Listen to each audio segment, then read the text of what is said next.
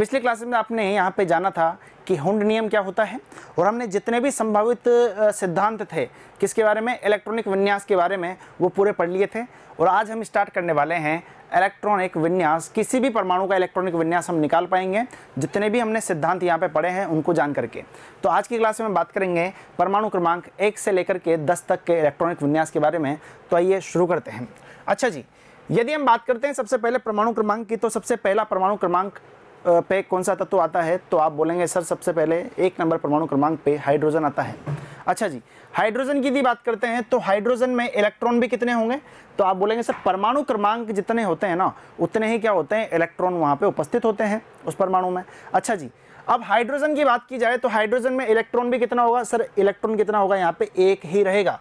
और वह सबसे पहले और वो सबसे पहले n प्लस एल रूल के या और बोल सकें कि आपबाउ सिद्धांत के अनुसार वो सबसे पहले किसमें जाएगा? तो आप बोलेंगे, सर लोअर एनर्जी वाले कक्षक में जाएगा। यानी कि जिसकी ऊर्जा कम होगी, उसमें वो जाएगा। तो आप यहाँ पे देख पा रहे हैं कि मैंने एक क्रम लिख दिया है। किसका? कक्षकों का क्रम लिख दिया है ऊर्जा का। One S, two S, two P, three S, three P, four S और लास्ट में थ्री डी तक हमारा काम हो जाएगा थर्टी तक। ठीक है जी? तो आइए बात करते हैं इसकी। तो इसमें जो एक इलेक्ट्रॉन है ना, वो किसमें जाएगा भाई मेरे? वन एस में। तो उसका विन्यास किस तरह से लिखा जाएगा? तो आप देखेंगे यहाँ पे वन एस वन इसका विन्यास लिखा जाएगा। ठीक है जी? अब यहाँ पे जो ये कक्षक हैं, उनको भी मैं आपको भरना बता देता हूँ किस तरह से भरना है। हमें पूरे जितने भी नियम है ना, वो सब ध्यान रखना है। पाउली अपवर्जन का नियम हमें ध्यान रखना है। हमें हुंड नियम का भी ध्यान रखना है कक्षकों को भरने के लिए। ठीक है? पक्की बात है? तो देखो, यदि हम इसकी बात करते हैं, यहाँ पे वन की तो वन में क्या होगा? भाई, एक इलेक्ट्रॉन है तो एक काम करो, एक इलेक्ट्रॉन है ना तो इसको ऐसे भर दो। ठीक है? एक इलेक्ट्रॉन मेरा भर गया। क्या आप दूसरा इलेक्ट्रॉन भर सकते हो क्या? सर, नहीं भर सकते क्योंकि हाइड्रोजन के पास में तो एक ही इलेक्ट्रॉन है, ठीक है? अच्छा अगली हम बात करते हैं यहाँ पे किसकी? हीलियम की बात करते हैं। अच्छा जी हीलियम की यदि बात की जाए तो हीलियम का परमाणु क्रमांक कितना होता है? तो आप बोलेंगे, सर, दो होता है, और सबसे पहले वन में ही जाने वाला है, और यहाँ पे परमाणु क्रमांक दो है तो इलेक्ट्रॉन्स भी कितने होंगे उसमें? सर, दो इलेक्ट्रॉन होंगे तो दो इलेक्ट्रॉन इसमें हम डाल सकते हैं।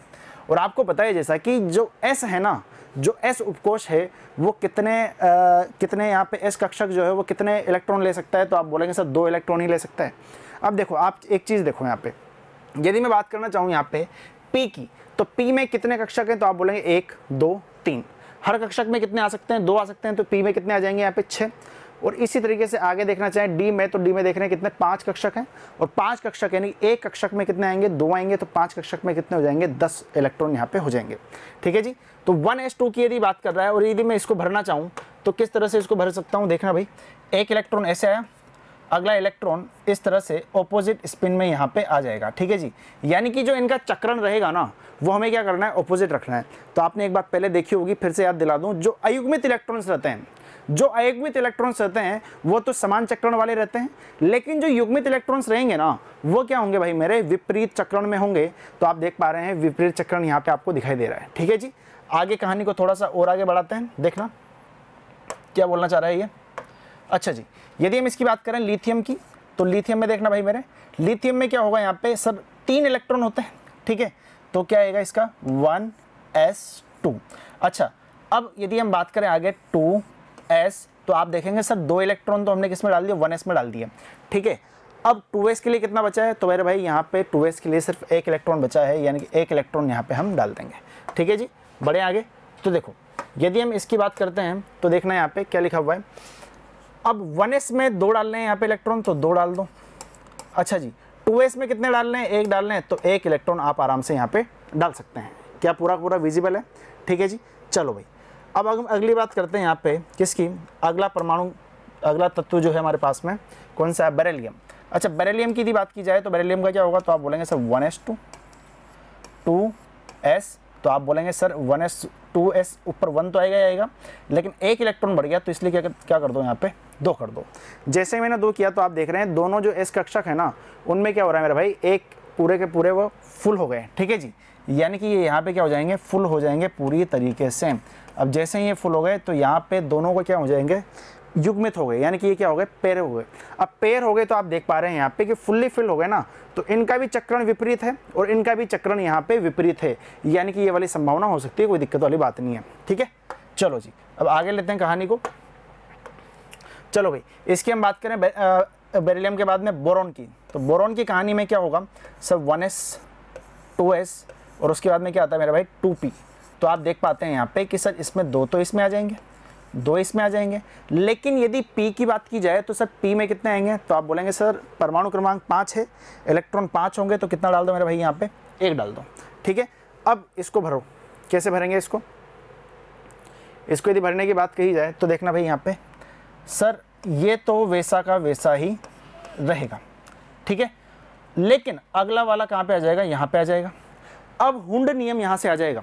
कौन सा नियम आएगा? अब हुंड नियम यहाँ पे आने वाला है, बस आ ही गया। देखना किस तरह से हुंड नियम को हम यहाँ पे एक्सप्लेन करते हैं। कार्बन की हम बात करते हैं one S two S two P अच्छा जी एस में कितने? दो। इस एस में कितने? दो। अच्छा जी, सर टू पी में कितने आएँगे सर यहाँ पे? दो आएँगे। ठीक है, क्योंकि पहले कितने थे? वन थे। अब यहाँ पे यदि मैं इन कक्षकों को भरना चाहूँ तो कक्षकों को किस तरह से भर सकता हूँ? देखना भाई मेरे। सर ये तो इसी प्रकार से रहेंगे। अब एक ये तो पहले वाला था, ठीक है? ये तो कहाँ तक चल रहा था? बोरोन तक भी ऐसे चल रहा था। क्या सर अब यहाँ पे इसमें ऐसे कर दे क्या? नहीं कर सकते। क्यों? क्योंकि हमने हुंड नियम पढ़ा है कि अयुग्मित इलेक्ट्रॉन्स जो होते हैं ना, वो अपने आप को ज़्यादा स्टेबल मानते हैं, यानी कि इलेक्ट्रॉन्स हमेशा अयुग्मित रहना पसंद करते हैं। तो जहाँ तक पॉसिबल होना, उनको क्या रखो? अयुग्मित ही रखो, उनको सिंगल ही रखो। तो हम यहाँ पे क्या करेंगे? इसको हटा करके हम क्या कर देंगे? अगले वाले में एक इलेक्ट्रॉन डाल देंगे। ठीक है? और अगले वाले में डालोगे ना तो उसने क्या बताया हुंड नियम के अनुसार क्या बताया गया है कि अगले वाले अगले वाले कक्षक में भी उसका वही चक्रण रहना चाहिए जो पहले था। यानी कि अयुग्मित इलेक्ट्रॉनों का चक्रण समान रहेगा, और यदि हम बात करते हैं युग्मित की, युग्मित का जो चक्रण रहेगा, वो क्या होगा मेरे भाई? विपरीत होगा, इस बात को आप देख लेना, ठीक है? चलो भाई, बढ़े आगे। हाँ जी। इस कहानी को थोड़ा सा और आगे लेकर के चलते हैं तो आप बोलेंगे, सर, नाइट्रोजन में इतनी मेहनत करने की ज़रूरत नहीं है, सर, यहाँ से यहाँ तक तो एक ही रहेगा, बस ये वाली कहानी चेंज हो जाएगी, कितना यहाँ पे? टू पी थ्री यहाँ पे आ जाएगा। और यदि मैं इसको भरना चाहूँ तो यहाँ पे किस तरह से भर सकता हूँ? देखो भाई, ये वाला तो सेम रहेगा, ये भी सेम रहेगा, ये है ये है और अगला कहाँ पे आ जाएगा? यहाँ पे। तो आप चेक कर लीजिए क्रॉस चेक करना चाहें तो चार और तीन सात। और यहाँ पे इसके परमाणु क्रमांक की यदि हम बात करें तो वो भी कितना होता है भाई मेरे यहाँ पे? सात ही होता है। ठीक है? चलो भाई अब कहानी को थोड़ा सा और आगे। इसको देखेंगे यहाँ पे। सर ऑक्सीजन की हम बात करते हैं तो सर ऑक्सीजन यहाँ से यहाँ तक तो सेम रहेगा। सिर्फ़ यहाँ पे आके थोड़ा सा परिवर्तित हो जाएगा। तीन की जगह कितना हो जाने वाला है? यहाँ पे चार हो जाने वाला है। ठीक है जी? और इसी प्रकार से यहाँ पे हम फ्लोरिन की बात करें तो ये कितना हो जाएगा? टू पी फाइव हो जाएगा। और यदि हम बात करते हैं नियोन की तो सर वो कितना हो जाएगा? Two P six. अब एक बार लिख लिया, अब इसको आराम से भर लेते हैं। ठीक है? चलो। अब यदि मैं बात करता हूँ यहाँ पे अभी मेरे टू पी फोर की तो टू पी फोर को देखना। कैसे आएगा? तो आप बोलेंगे, सर, ये तो पहले वाली कहानी तो सर वैसी लिख दो, है ना? पहले वाली कहानी तो वैसी की वैसी ही लिख दी। अब टू पी फोर की हम बात कर रहे हैं तो अब यहाँ पे डाल दो, यहाँ पे डाल दो, यहाँ पे डाल दो, बात एक ही है। बस याद रखना है कि चक्रण अब कितना, क्या आ जाएगा वहाँ पे? विपरीत आ जाएगा। आप चाहते हैं यहाँ पे रखें तो यहाँ पे डाल दिया। यदि आपका मन कर रहा है, सर, यहाँ पे डाल दे इलेक्ट्रॉन तो वहाँ पे डाल दो। समान उड़ जाए कोई दिक्कत वाली बात नहीं है, ठीक है? चलो भाई, अब अगले हम बात करते हैं तो इस वाले की। सर, वैसा का वैसा रहेगा पहले तो। अब अगला किसमें आ जाएगा? इसमें डाल दो, इसमें डाल दो, बात एक ही है, ये लो। अच्छा जी, इसकी बात करें तो ये कैसे हो जाएगा?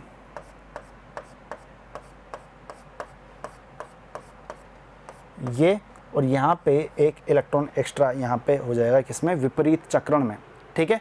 तो इस प्रकार से आप देख पा रहे हैं कि हमने 10 के 10 जो यहाँ पे एक परमाणु क्रमांक एक से लेकर दस तक के जितने भी तत्व हैं, उनके इलेक्ट्रॉनिक विन्यास यहाँ पे लिख लिया तो आप देख सकते हैं यहाँ पे कि कार्बन के बाद में, यानी कि बोरोन के बाद में कार्बन से क्या स्टार्ट हो जाएगा यहाँ पे? हुंड नियम हमारा स्टार्ट हो जाएगा और आप यहाँ पे देख भी पा रहे हैं कि हुंड नियम को हमने यहाँ पे किस तरह से लगाया है।